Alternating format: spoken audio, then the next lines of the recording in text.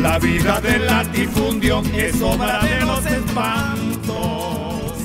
Se hizo por medio de las personas que vinieron este, para el rescate, hicieron los contactos y luego, bueno, este, nos dirigimos a la alcaldía y bueno, por allí nos dieron el, el crédito para la producción avícola. Tenemos 500 gallinas. La producción está en 80%. Estamos produciendo 12 cartones de huevos diarios. Nosotros la vendemos aquí en la comunidad a 800 bolívares por unidad y 20 bolívares el cartón de, de huevo.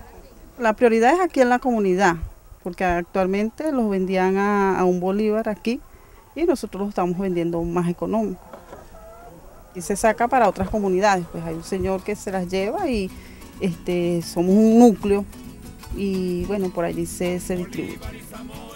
Venimos a, este, a las 6 de la mañana, venimos a darle la comida, este, a eso de 9 a 10 venimos a recoger los huevos.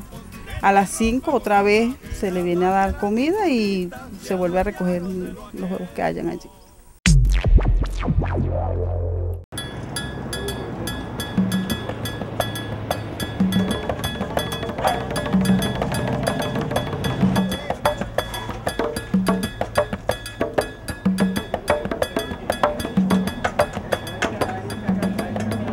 Estamos recuperando una antigua gaceta telefónica que estaba en estado de abandono y, para construir un mercado para el beneficio de toda la comunidad, para que adquieran los productos alimenticios a más bajo costo.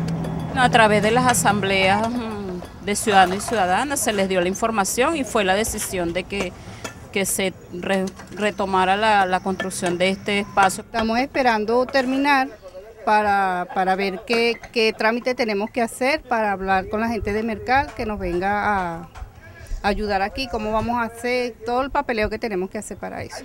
Eso fue por el presupuesto participativo, por el este INVI, a través de la alcaldía, pues, pero por el presupuesto participativo 2011.